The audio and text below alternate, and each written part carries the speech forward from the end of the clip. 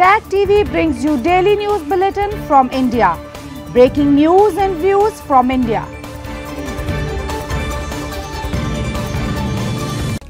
You're watching South Asia Newsline and here are the top stories we're tracking for you on Monday, the 13th of November. Three Indian cities among world's 10 most polluted after Diwali. Concerns grow over survival of Afghan refugees returning from Pakistan. And Sri Lanka's 2024 budget sets ambitious revenue deficit targets.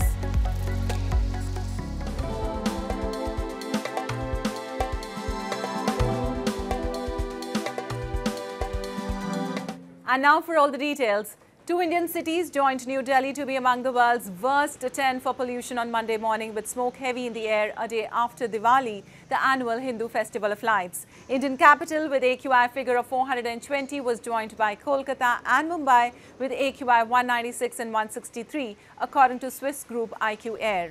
While firecrackers were banned in New Delhi, many flouted rules, shooting up the level of pollutants in the air. As part of measures to control pollution, the Delhi government had earlier this week shut schools until 18th of November and is now mulling the imposition of odd-even rule for vehicles in the region.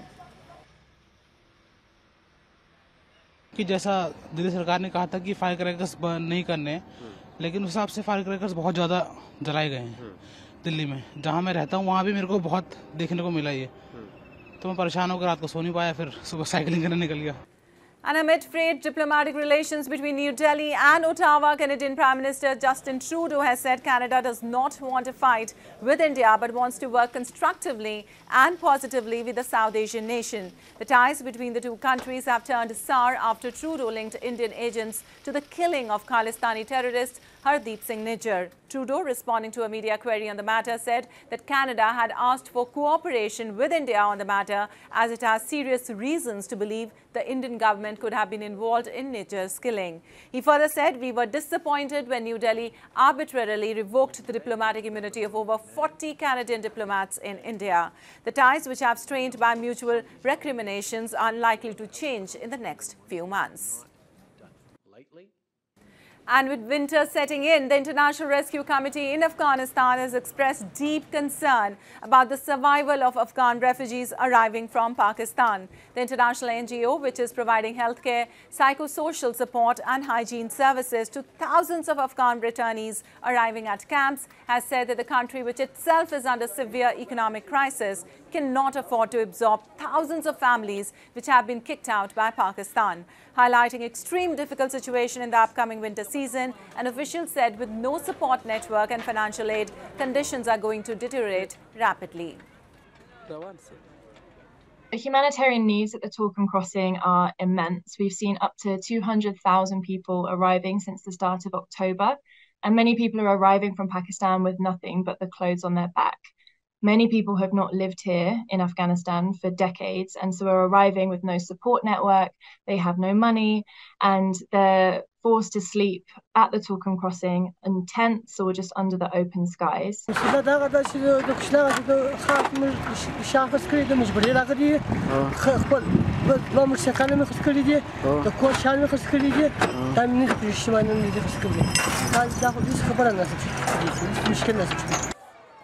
Well, Pakistan is home to over 4 million Afghan migrants and refugees and Afghans make up the largest portion of migrants. Pakistan government has brushed off calls from the UN and Western embassies to reconsider the expulsion ban, saying Afghans have been involved in terror attacks and in crimes that undermine security.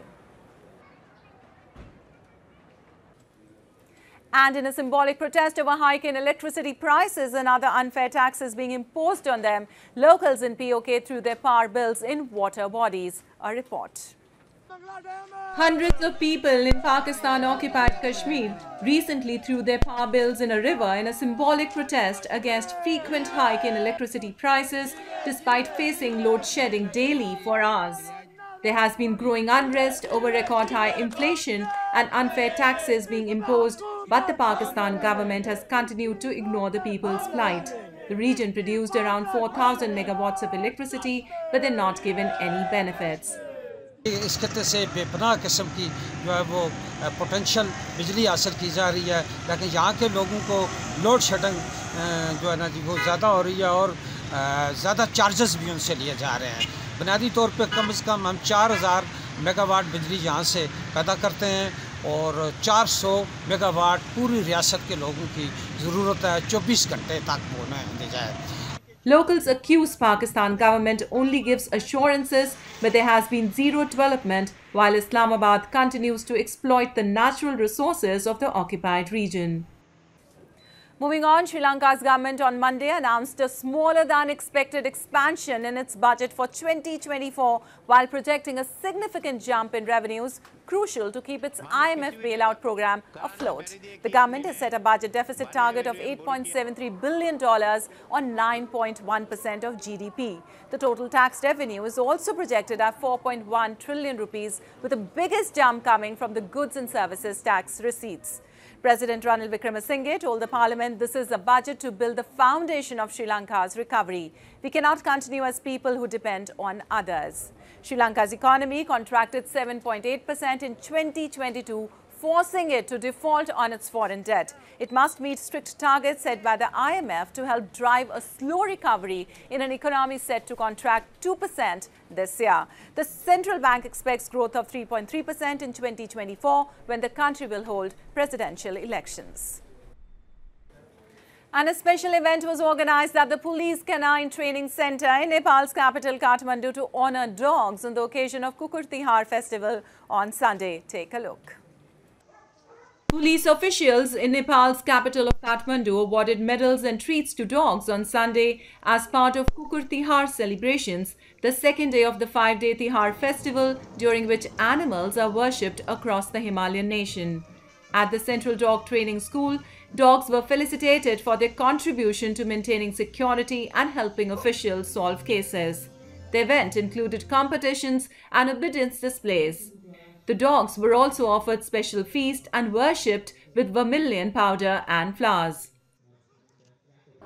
Uh, I believe that dogs are the most friendliest and the loyal animals on the planet and today is Kukur Tihar and it is a festival that we celebrate in Nepal to respect dogs for their loyalty and friendship and helping all the human beings all around the world and I believe that every country should learn from Nepal to respect dog and treat them with kindness.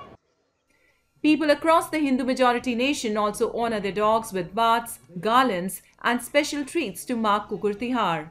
Devout Hindus consider the dog to be the messenger of Yamraj, the god of death, and believe that worshipping the animal makes him happy. And hundreds of Hindu devotees thronged the banks of the sacred river Ganga in the holy town of Haridwar to take holy dip to mark Somvati Amavasya, the new moon day that falls on Monday, considered very auspicious among the Hindus. On the occasion, devotees also observe special fast, make offerings and perform rituals for the salvation of their departed ancestors. According to the Hindu epic of Mahabharat, Bhishma, the son of river Ganga, narrated the significance of Somvati Amavasya to Yudhishthir, the eldest of the five Pandav brothers. Bhishma said that whoever takes a bath in the sacred rivers on this day would be prosperous, disease-free and free from grief and sorrow. स्नान के पश्चात अश्वत अर्थात people के वृक्ष की 108 प्रदक्षिणा करके जो धागा बाँध देते हैं वो अपने आप को मोक्ष प्राप्त कर लेते हैं और स्नान का इतना अधिक महत्व बताया गया है कि स्नान के पश्चात मौन रहकर स्नान और स्नान के पश्चात अपने कुल पुरोहित या ब्राह्मण को दान करें तो जितने दान की वस्तुएँ आप करेंगे उतने वर्ष उतने सहस्त्र वर्षों तक उतने कल्प तक आप स्वर्ग में वास करते हैं ऐसा पुण्य फल इसका बताया गया है Well, that's all in tonight's edition. We'll see you same time tomorrow. Good night.